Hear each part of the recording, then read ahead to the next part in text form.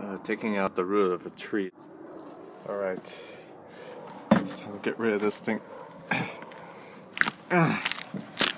Oh my, I could do this for a living. Alrighty then. Yalla. Prepare to die. Jesus.